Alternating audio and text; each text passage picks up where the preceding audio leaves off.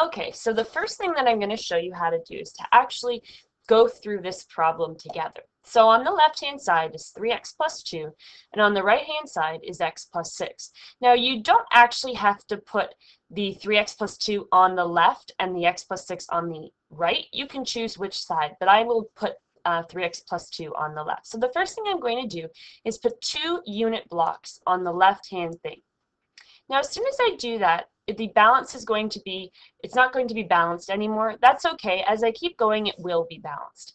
And then I'm also going to add three x's on the left-hand side. And I just click and drag them. So now I've got 3x plus 2 on the left. So now I have to start working on the right-hand side.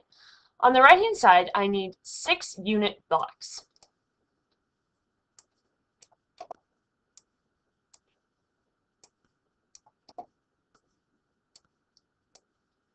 And I need one x. And as soon as I've done that, now my scale is balanced. You cannot click continue until your scale is balanced. So now I'm ready to click continue. Now my default setting is to add something to both sides, but I don't have to do that. I can subtract, I can multiply, or I can divide.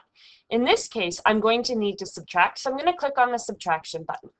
So what I first need to do is I need to look at both sides of the equation and see what they have in common. When I look at them both, they both have two unit blocks on either side. So the first thing I'm going to do is subtract two unit blocks and click go. Now, once again, I'm going to compare and see what they have in common.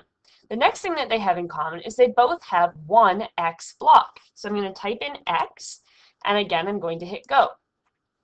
At this point, there's no longer anything in common. However, 2 goes into both sides of the equation. So what I'm going to do is I'm going to divide both sides by 2.